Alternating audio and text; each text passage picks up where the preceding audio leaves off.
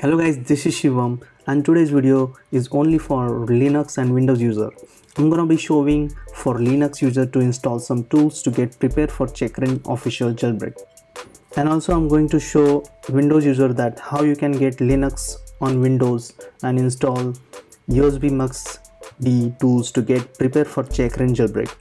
In my previous video, I have shown you guys how to get Mac OS to get Checkra1n jailbreak by using same method but now we no longer require macOS. Recently, Nikias Bassen uh, tweeted that for those wondering, this has nothing to do really with Checkra1n, but feels Bash is better than Dash. If you want to, if you want to prepare for Linux REN season, make sure you have USB Mux D installed and ready for Checkra1n jailbreak. In order to install Checkra1n jailbreak on Linux or Windows, uh, by installing Linux, you have to install USB Mux D on it. To do that, follow this process. If you already have a Linux, it may look different for you, but it will be the same process as um, on the Linux too. Uh, right now I'm on Windows PC using Xubuntu and I have installed Linux based uh, virtual machine. So same method we're gonna do for all. So before we begin in terminal we have to update apt-get to in order to run the program. Okay so type sudo space apt dash get space update and hit enter. Then it's going to ask a password. I'm going to provide mine to get permission. So once you hit enter the installation the update will get update and you can see the package has been updated. An update will be depends on how old your version is so it depends on that. Now to get Checkra1n run on this device we need usb mux d tools to to device will be recognized. In order to do that type sudo space apt uh, dash get space install usb mux d and hit install. Oops the command gone wrong. So let's try again. Sudo space apt dash get uh, space install usb mux d and hit install. Now it will install.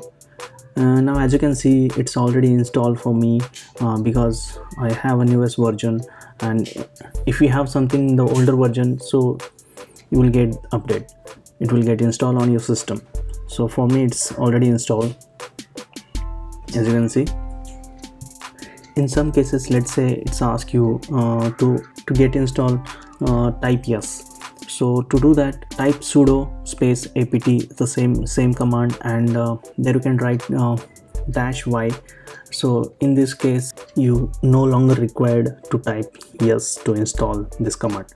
So go ahead and do that. So as i said this is important without this tool you wouldn't be get Checkra1n jailbreak uh, that's what uh, Nikias Bassen tweeted uh, on Twitter. So the next step will be how you can get Linux uh, on Windows by using Xubuntu process uh, so uh, watch it carefully. The very first step will be go to the you know BIOS mode by using your whatever system you're using. You should know the commands you will get on Google for me it's F10 once you're once you're inside a setup utility then uh, go to system configuration and there uh, make sure you enable virtual virtualization technology something like that for my for me in hp so make make sure it's enabled okay? Once you're enabled just exit uh, with the f10 button and start the windows. To check your system compatibility uh, go to run uh, type ms info 32 and hit hit ok. Then you can see uh, the system type should be uh, x64 base and uh, hyper v vm monitor and uh, something virtualization should be enabled. If all else that means you are good to go. One more important step click on windows disk management. And here you can see uh, C drive you know you need to create a partition drive to uh, install new OS on it. So for that uh, right click on your C drive and uh, shrink volume and then type uh, around uh, 80 to something like 60 to 80 gigs. Okay so I'm, I'm going for the 100 GB once your drive is allocated just create a volume and hit next and keep the setup as it is ntfs just give it a name for your volume uh, and uh, it's okay. And we are done here.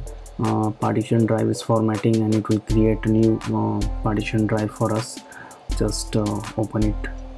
And there we go. We got 100 GB uh, for our new OS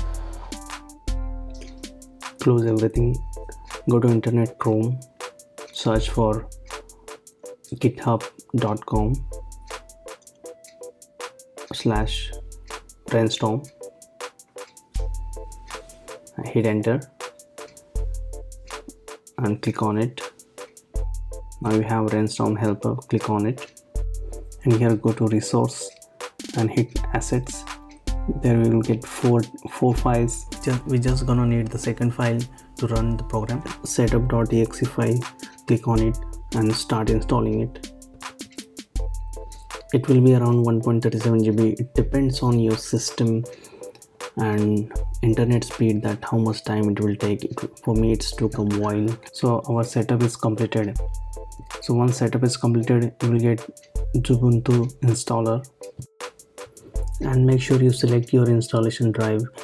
Uh, for me it's uh, E drive which I created earlier. As you can see uh, E drive which is which has a hundred gigs next installation size I'm gonna select 64 GB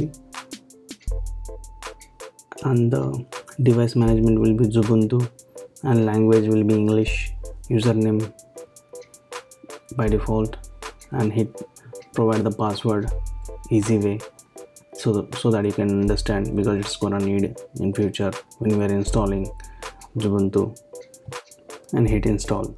It will start installation. It will take a while so be patient. I'm gonna speed up. Once it is done it will ask you to reboot your device. Hit finish. When black window will appear uh, press shift to go to the GNU grub version 2 and you can see uh, don't confuse with other options just go to the normal mode and then you're in the Xubuntu now the Xubuntu installation will proceed. It will it will take some time to install. Let the process begin and be patient.